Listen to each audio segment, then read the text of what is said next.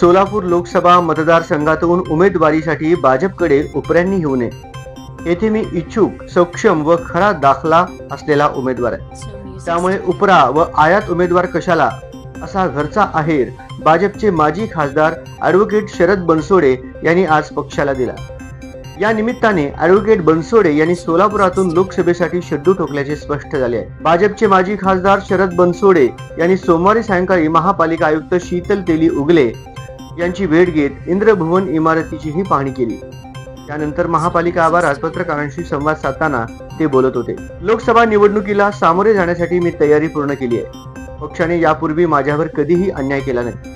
परंतु लोकसभा उमेदवारीसाठी स्थानिक नसेल तर उपरा उमेदवार लादू नका असे सांगताना मागील कार्यकाळात काही चुका झाल्या असतील काही राहून गेले असेल तर त्या दुरुस्ती करून घेतो अशी ग्वाहीही बनसोडे यांनी दिली. सोलापूरसाठी उपऱ्या उमेदवाराची चर्चा होत असल्याने काँग्रेसवाल्यांना गुदगुल्या होत आहेत. मात्र त्यांनी कायमचे पराभवाच्या मानसिकतेत राहावे. निवडणुकीत उमेदवार नव्हे तर पक्ष लढतो. यापूर्वी माजी केंद्रीय मंत्री सुशीलकुमार शिंदे यांच्या पत्नी उज्ज्वला शिंदे यांना जनतेने नाकारले आहे. सुशीलकुमार शिंदे यांच्यापेक्षा आणखी कोणी उत्तुंग नाही. त्यामुळे जनतेबरोबरची ही लढाई आहे. जनता ठरवेल कोण विजय आणि कोण पराभूत होईल? असेही त्यांनी भाष्य केले. माझे जातीचे खणखणीत व खरे प्रमाणपत्र असल्याने पक्ष निर्णय घेईल.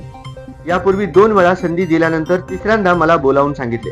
राज्यात सात ठिकाणी उमेदवार बदलण्याच्या प्रयोगात तुमचा नंबर आहे. केलेला प्रयत्न चुकीचा ठरला असल्याने भाजप यंदा योग्य तोच निर्णय घेईल असा विश्वासही ॲडव्होकेट बनसोडे यांनी व्यक्त केला.